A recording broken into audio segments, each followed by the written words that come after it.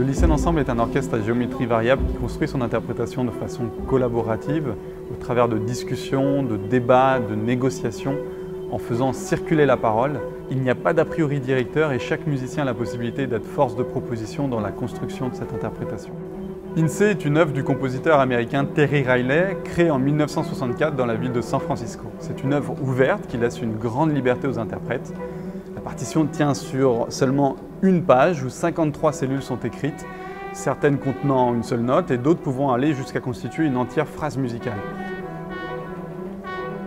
Chaque musicien a donc la liberté de choisir le nombre de répétitions pour chacune de ces cellules avant de passer au motif suivant. Et vous avez des, superpositions rythmiques et polyphoniques qui se créent, une complexité où finalement la seule chose qui tient l'ensemble, c'est l'écoute collective.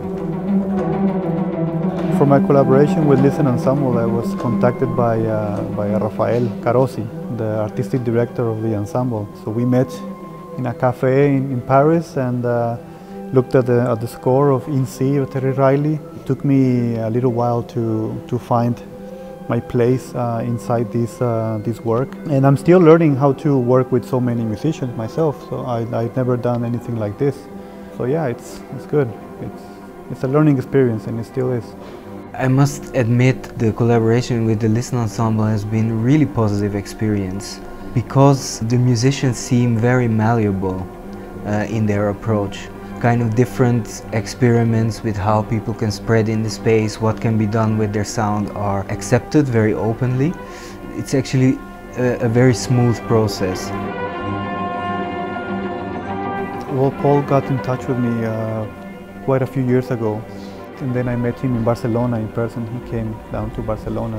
When we started developing 4D sound, we listened to a lot of particular music examples, music from artists that we felt were already expressing very explicit ideas about space in their music. And Murcof was one of the very clear uh, examples of inspiration for us. So we were thinking about his music. And yeah, I, I arrived to the 4D sound system with some preconceived ideas. I thought I could adapt my pieces to the, to the system, but then I deleted everything. It became really obvious that the system demanded a new approach to composition because now space became a really important uh, aspect of, of the piece. Not only the, the other elements, harmony, melody, rhythm, rhythm, but space became as important or perhaps more important than, than, than these other elements of the composition. Dès le départ, nous avons intégré le travail sur la spatialisation qui ajoute une dimension supplémentaire et qui, je crois, s'intègre parfaitement à l'esprit d'œuvre ouverte, en ce sens que le spectateur devient acteur de sa propre perception. Il a la possibilité de se déplacer au cours de l'œuvre et de modifier son écoute selon l'endroit où il se trouve.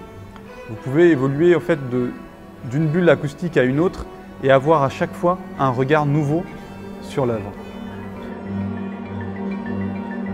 So what you see here on the screen is actually a representation of uh, uh, how the musicians are placed in the room. So each of these boxes represents a physical source.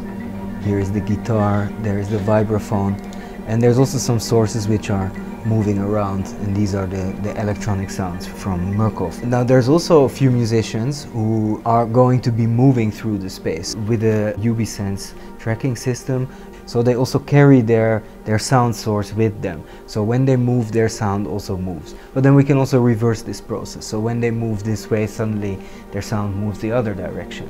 Um, so again, we, we take the reality of the musicians in the space, we augment this in the system, and then we take it to a different place. We create a new world of sound that people can walk through and listen to.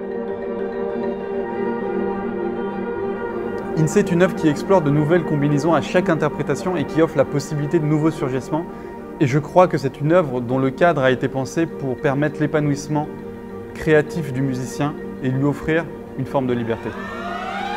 I hope we can make more presentations so we can take it all the time to new levels because uh, this piece is really open to many ways of, of interpreting. No? And then when you add acoustic elements and electronic elements and you mix them together you can mix them in so many ways and uh, it's a bit risky uh, but it also opens up many new possibilities so i'm just happy to be in part of, the, of this project.